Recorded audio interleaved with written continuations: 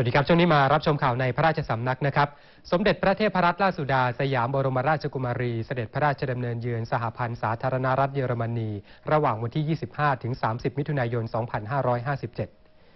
ค่ำวานนี้เวลา 23 นาฬิกา 20 นาที สมเด็จพระเทพรัตนราชสุดา สยามบรมราชกุมารี เสด็จพระราชดำเนินไปห้องรับรองพิเศษ ท่าอากาศยานสุวรรณภูมิ จังหวัดสมุทรปราการ ประทับเครื่องบินของบริษัทการบินไทย จำกัดมหาชน เที่ยวบินที่ TG 920เสด็จพระราชดำเนินเยือนสหพันธ์สาธารณรัฐเยอรมนี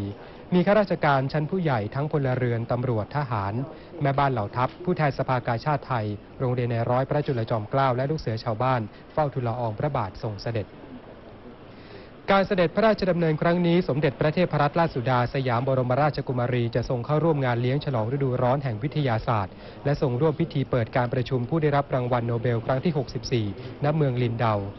นอกจากนี้จะทรงเยี่ยมชมกิจกรรมและสถานที่สำคัญต่างๆ อาทิ วิทยาลัยเทคนิคและธุรกิจแห่งกรุงเบอร์ลิน และศูนย์ฝึกวิชาชีพชั้นสูง สาขาเทคนิคสารสนเทศ อิเล็กทรอนิกส์ อุตสาหกรรม และการบริหารจัดการพลังงานกรุงเบอร์ลิน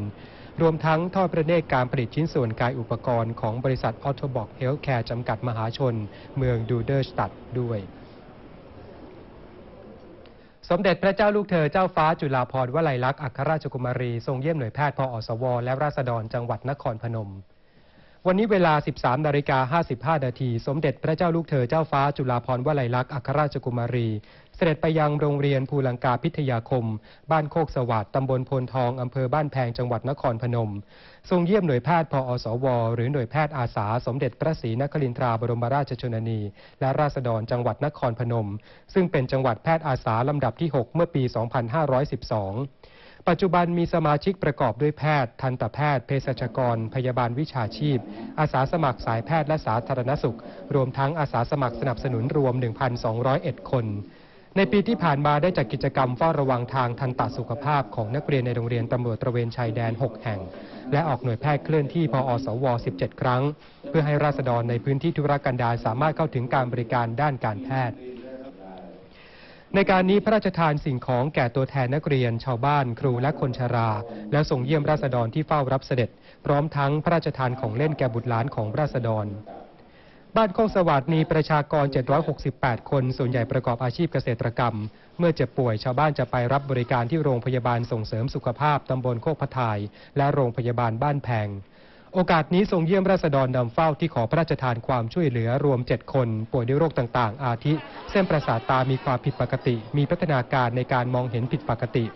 มะเร็งต่อมน้ำเหลืองที่ขาหนีบ โรคงวงช้าง หัวบาดแต่กำเนิด และแขนขวาพิการแต่กำเนิด ซึ่งโปรดให้ส่งตัวไปรักษาอยังโรงพยาบาลต่างๆ ทั้งในภูมิภาคและกรุงเทพมหานคร โดยไม่เสียค่าใช้จ่าย จากนั้นทรงเยี่ยมหน่วยแพทย์ปอสว และหน่วยแพทย์พระราชทานสถาบันวิจัยจุฬาภรณ์ที่โปรดให้ไปตรวจรักษาประชาชน พร้อมด้วยหน่วยสัตวแพทย์อาสาจุฬาภรณ์ซึ่งร่วมกับปศุสัตว์จังหวัดให้บริการด้านปศุสัตว์ โดยมีผู้รับบริการด้านสุขภาพและรักษาโรคทั่วไป ทันตกรรม และแพทย์แผนไทย ต่อจากนั้นพระราชทานพระวโรกาสให้สมาชิกพออสว จังหวัดนครพนมเฝ้า และมีพระดำรัสเกี่ยวกับพระบาทสมเด็จพระเจ้าอยู่หัวเพื่อเป็นแนวทางในการปฏิบัติหน้าที่ต่อไป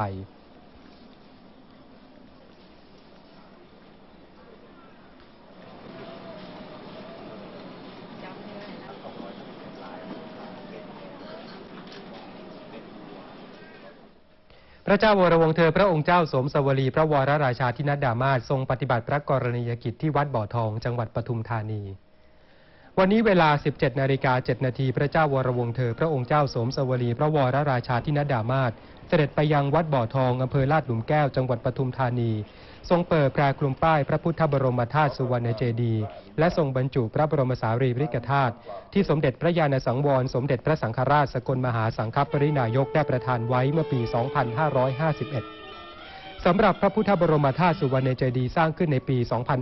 2540 มีลักษณะเป็นเจดีย์ทรงกลมรูประฆังคว่ำความสูงของเจดีย์จากฐานถึงยอดประมาณ 10 เมตร เส้นผ่าศูนย์กลาง 4 เมตร องค์เจดีย์สร้างอยู่บนบนดบจตุรมุข ต่อมาพระครูวิมลสุวรรณากรเจ้าอาวาสวัดบ่อทองในขณะนั้น พร้อมด้วยพุทธศาสนิกชน ได้ร่วมกันบูรณะปฏิสังขรณ์พระเจดีย์และสร้างบุษบกไม้สักและพระอบทองคำสำหรับเป็นที่ประดิษฐานพระบรมสารีริกธาตุ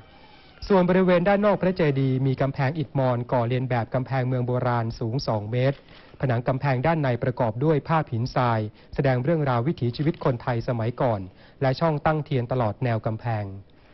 ทั้งนี้วัดบ่อทองสร้างขึ้นเมื่อปี